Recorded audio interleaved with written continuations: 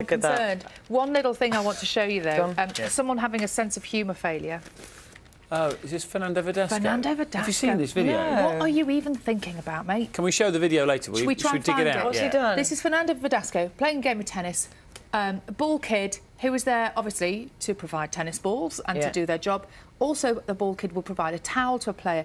This kid here didn't bring the towel quickly enough to Fernando Verdasco, and he went bonkers, quite frankly. He got really, really grumpy about it. If you watch the video, he couldn't have got the towel any quicker. Any quicker? Yeah, exactly. He couldn't have he couldn't have tried any harder. This poor kid.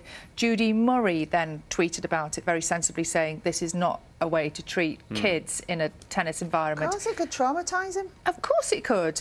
And interestingly, um, at the ATP finals in November, they are considering using towel rails.